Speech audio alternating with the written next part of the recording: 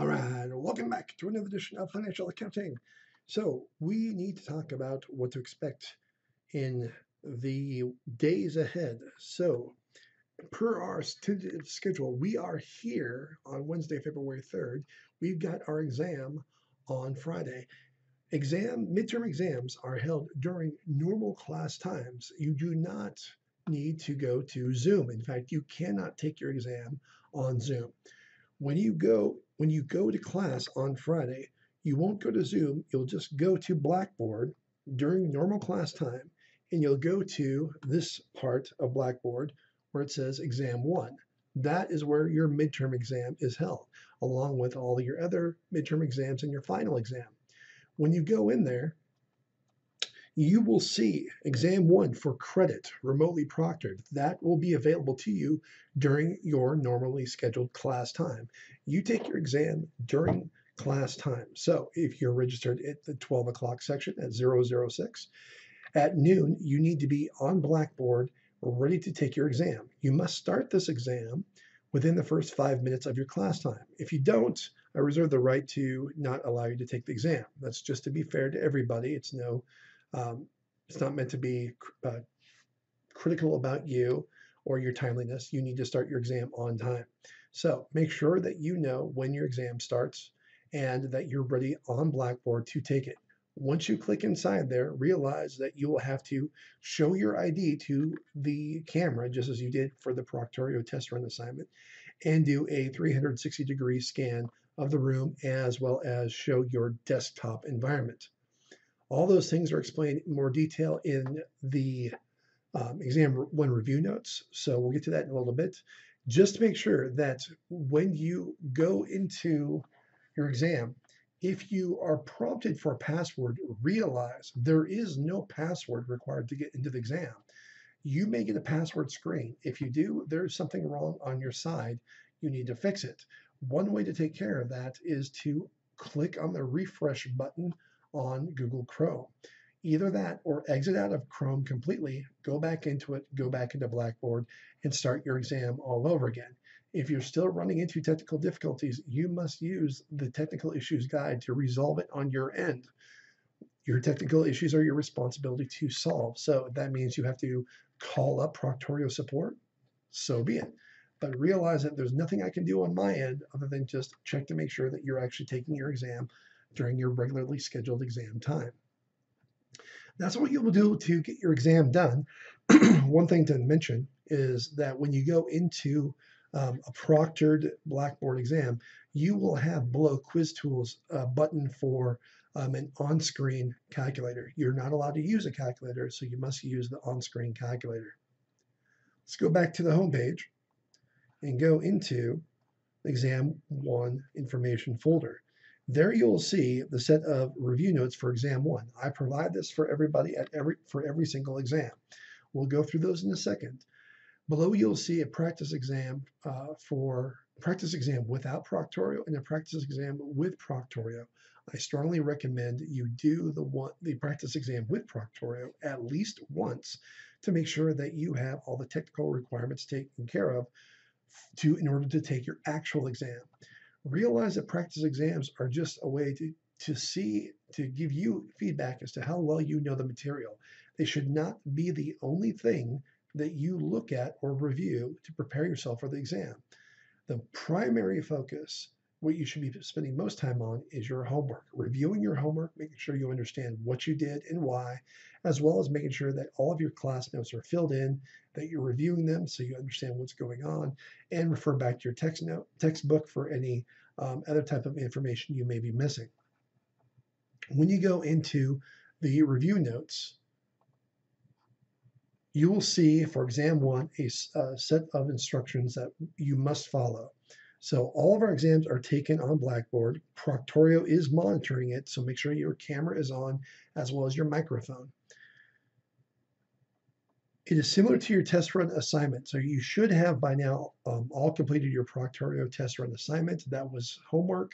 You're required to do that primarily to make sure that you understand what is required in the course, throughout the course, as well as make sure that you actually have Proctorio set up on your computer and you're ready to take the exam.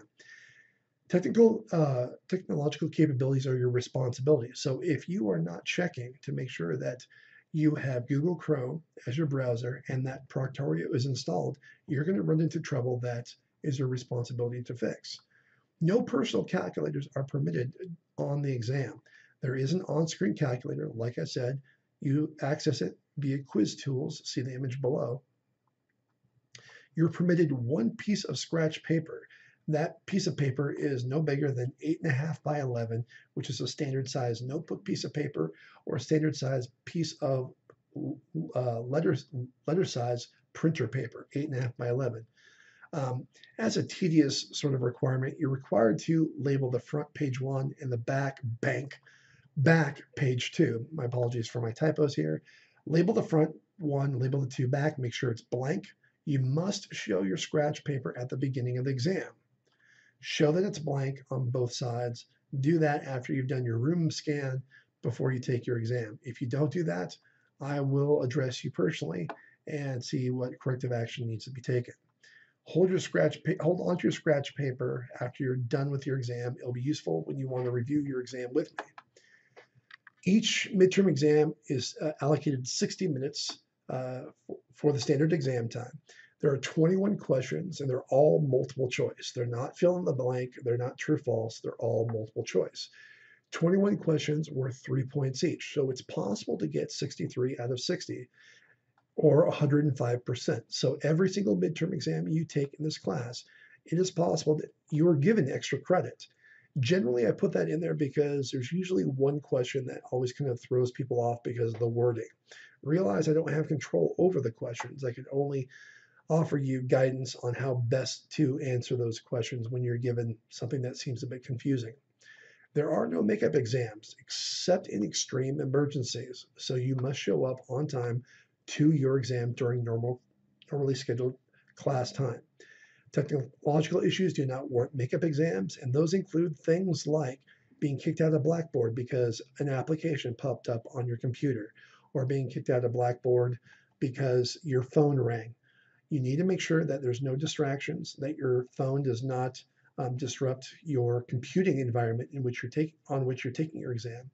Um, you need to make sure that there's you have strong internet connection. That there's if you have some sort of um, blackout issues or for whatever reason your electricity gets cut off during your exam, realize there's nothing for me to do about that. You need to make sure that you have strong internet connection, you won't be kicked off, and your environment is quiet and you're able to focus. Um, take the practice exam with Proctorio on Blackboard. That's my recommendation. Do that uh, at least once prior to the exam to make sure you have all the technological capabilities to take the exam. All the material from your textbook, the lectures, our homework are testable. The content of this first exam covers chapters one and two. In fact, every midterm exam covers only two chapters worth of material. But make no mistake about it, the material is stacked over time. You have to remember the material from previous chapters in order to understand how to do understand the material in future chapters. Keep in mind this also is that our final exam is comprehensive. So you do not want to look at any exam in isolation from one another.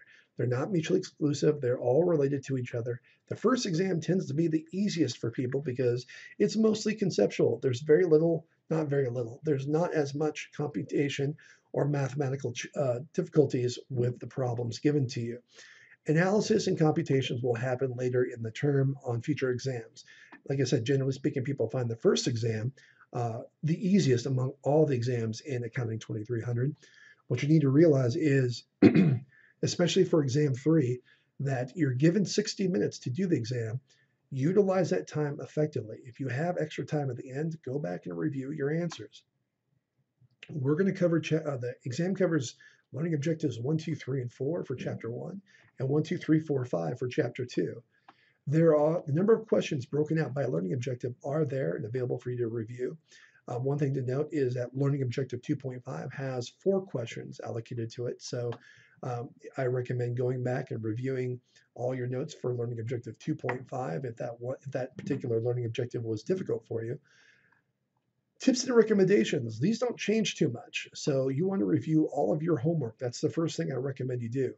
Realize that accounting is something you have to practice, not just something you memorize. So your homework is where you practice everything. If you haven't been doing your homework, you're not in the best position to be successful in this exam. When you're reviewing your homework, the most important thing to ask yourself is why the answers make sense. If you're relying heavily on the help me solve this feature or any of the question help features, you're not giving yourself the best chance to learn the material and you're not setting yourself up for the best chance of success on the exams. Make sure you're also focusing on processes that help you derive answers. Journal entries, posting to the ledger, things like that. Those are key aspects of what this class is all about. So you need to understand the process, how things are actually done in the specific steps that they're done. Memorization will not be enough. That was something I emphasized from day one of this class. So you need to make sure that you're able to, to apply the material. Don't just be ready to demonstrate your knowledge of the material. Review all the lecture notes. Be sure that all of your lecture notes have the blanks completed. If not, go back and review the lecture notes for any potential blanks that you missed. I don't provide completed sets of lecture notes. It's your responsibility to get in class and or through the, the recorded lecture recorded lecture videos. Excuse me. There is additional help on practice on my accounting lab, and we can take a look at that really quick. The questions that I put up on my accounting lab are not bonus questions. They're not for credit of any kind. They're just there to give you more practice answering questions. So when you go into the assignments, you will see towards the bottom practice questions for uh, exam one. Again, these are not for credit. This is essentially a practice quiz that contains all multiple choice questions. Your exam is all multiple choice, so I figure best thing to do is to give you more practice in answering multiple choice questions. More conditioning, the better. Take the practice exam on Blackboard multiple times, but realize that about after the third time, you'll you'll start to memorize the answers and the questions, so it becomes relatively ineffective. Don't just solely focus on the practice exams. Look at all the material. I cannot emphasize it enough. Uh, you have as many iterations as you want to, but again, realize that you should at least try the practice exam with Proctorio at least once. When taking the exam, make sure that you pay attention to your time. Usually up in the top left hand, somewhere up in the top of your exam will be a timer. So you're able to sort of monitor, see how much time you have left. Read the questions carefully, read them slowly, reread them. Pay attention to dates. All details in the problems matter in this class. Sometimes I give you too much information. You have to know to ignore that information. But I give you just enough information to solve the problems. Read them slowly. When you are reading through the problems, I recommend you sketch out the information as you read it. Utilize your scratch paper. That, that's what it's there for. Write down facts, draw pictures, draw timelines, anything to help you focus in on what the most crucial information is and what to do with it. Write out, sketch out some potential solutions. Draw journal entries, draw T account entries, whatever it may take. Keep remember, you want to keep this practice exam because those processes for, that you use to help solve problems are a talking point for you and I when we go back and review your exam. Know any questions that caused you trouble in particular. I want to know about those. Know any thoughts, including justifications for why you answered questions a certain way. I definitely want to know about that. Realize that the exam is just a checkpoint for you and I. I encourage you to meet with me to go over your exam virtually. Um, or if you want to just know the sort of the concepts and topics that you missed, I'm happy to provide the information to you. When we meet virtually, um, we can discuss any questions that took you a long time or confusing that you missed. We can discuss ways to improve your test taking performance. I'm happy to uh, talk to you about how to uh, do well on future exams and how you can help me improve upon uh, asking you questions on future exams. Feedback goes both ways, folks. I want you to tell me what you thought. If you thought the exam was not fair, I would like to hear that from you directly, and we can talk about things that either you or I can do to improve exams are not a do or die type of situation. Most people get test anxiety because they think, oh, if I fail the exam, it's my life is over. They're not. They're a checkpoint. They're a way to see whether or not you're doing things correctly. If you're getting 40, 50% on the exams, guess what? You're probably not doing things right. You need to talk to me. Um, they're not a judgment about you or your abilities. So realize when you come and talk to me, I'm not going to judge you. I'm not here to judge you or make you feel bad. I'm here to help you succeed. That's what my job is. Uh, the exams are simply assessment of your knowledge and understanding of the material to date. If you're falling behind, I might reach out to you and ask you if you need any help. Make sure you reply to my emails if I do that. Uh, as a little mantra, I like to put this in on the review notes. Accounting is an ing word, it's a verb. Accounting is like throwing a spiral or shooting a layup or spiking a volleyball or swinging a golf club. To become good at accounting, you have to practice using the tools. That's why homework problems take so long. I know that they, for some people, it's a problematic part of uh, this class is doing the homework, but realize the homework is there for your benefit. It's not there to uh, make you drown, to have you drown in all of the curriculum. You want to use it appropriately. You want to make sure that it's a tool to help you learn and practice. Hammers on nails, drivers on screws. You need to practice this stuff in order to do it. If I gave you a handful of, of nails and I told you to spike them into a board, it may take you a few times to kind of get the hang of it, right? You might kink a few nails the first time you strike on them, strike them with a hammer, but after a while you'll get the hang of it. You'll become better at nailing nails into wood. That's just what practice is all about. So accounting is critical in that area. If you don't believe me, I understand. Realize that it's your success that I'm mostly concerned with. Um, so if you need help down the road, I'm always there for you. Characteristics of, or questions that often uh, cause people frustrations on the exam, on this first exam. Characteristics of financial reporting, fundamental versus enhancing characteristics. So we talked about VUCT and R, F and R. Go back and take a look at those in your notes. Assumptions and principles like the cost, the historical cost principle, or the um, entity assumption. Definitions of accounting, uh, concepts, anything that's bolded in your text, you should have that written down someplace. Not just because you want to do well on the exam, but because we're going to use these phrases and these words over and over and over in the course. If you don't understand them, if you don't get them right now, um, it's going to be make uh, learning the material later down the road much more difficult. So make sure you're understanding, you're familiar with terminology. Make sure you know how to analyze the effects of a transaction. Know how uh, transactions affect the uh, accounts and account balances. How do how when we receive cash, what does that happen? What happens to the cash account? When we earn revenue, what happens to the revenue account? When we pay or receive on account, what does that mean? Okay, know your debits and credits, folks. This is crucial throughout the entire term. We're going to be doing nothing but debits and credits in this class. So as we go through and you're introduced to new accounts and how to debit and credit them, you're going to want to make note of that. Make sure you know how transac transactions affect the accounting equation. Sometimes we use cash to get a new asset, in which case there's overall no effect on the accounting equation. Sometimes we sell goods on accounts. So we perform services we sell goods, we earn revenue, the equity goes up, and our assets go up. Sometimes you see just a left side effect, sometimes you see a right side effect only. Um, we went through a lot of practice problems in class, so go back and look at accounting equation impacts.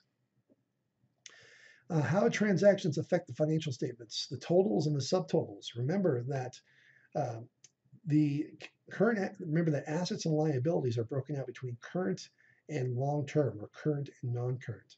So current assets and current liabilities are a subtotal that we would see on the balance sheet versus total assets and total liabilities, which includes everything. How transactions of uh, transaction effects are recorded. Make sure you know journal entries. Make sure you know how that information is posted to the ledger. We went through several examples of that. Um, how is the information from the ledger summarized in the trial balance? Go back and do look take a look at that. Um, how does the trial balance help us pre prepare the income statement, the balance sheet, etc.